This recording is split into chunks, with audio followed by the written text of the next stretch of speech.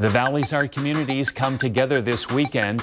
Artist studios from Palm Springs to Desert Hot Springs to Coachella are all part of the Desert Open Studios Tour 2021. Here this morning is Bill Schinsky, the founder and executive director of the Coachella Valley Art Center. Bill, welcome.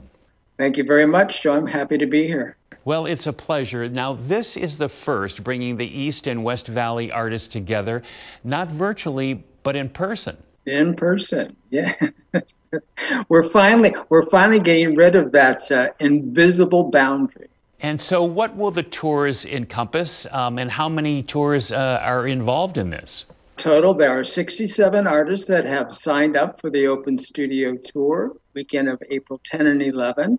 And my my contribution, really, besides the Coachella Valley having open studios that weekend, I am hosting an exhibition of one piece per artist at the Coachella Valley Arts Center Gallery to open April 9th from 5 to 8. So it'll be a sampling of work. So if you can't or don't want to drive to every studio from Desert Hot Springs to Coachella, you can see the work of all participating artists.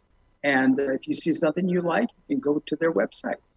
And so, how do the studios differ? Some studios are in people's garages or extra bedrooms. Some studios uh, will be found in commercial spaces, and some studios will be at like Coachella Valley Arts Center, where it's a large facility and 12 different studios in that facility. And tell me a little bit about the backstory. It's pretty remarkable because this is something that you've always wanted to do, and you got to do it.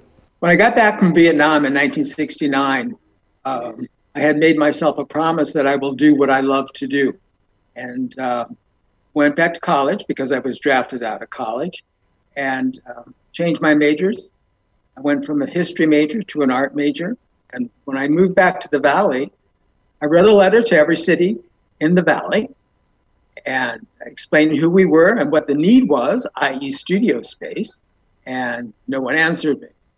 So I wrote it again, sent it out again, and the only town that showed some interest was Indio. So I came to Indio, found a space, and worked on it for about 18 months to clean it up, get it ready for studios. And that's when the city engineers said, uh, this building is not structurally sound.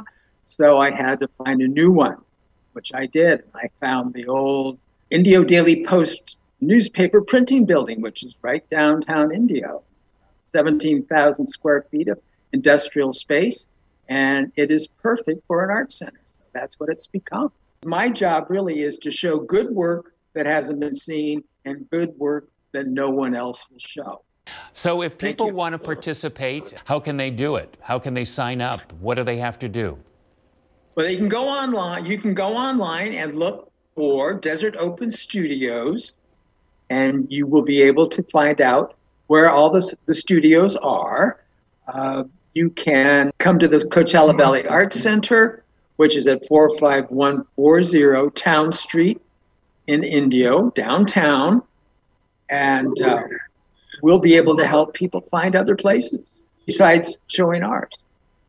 Terrific. Well, what a great idea. This is the first one you're trying, so we hope it's a huge success, and congratulations to you.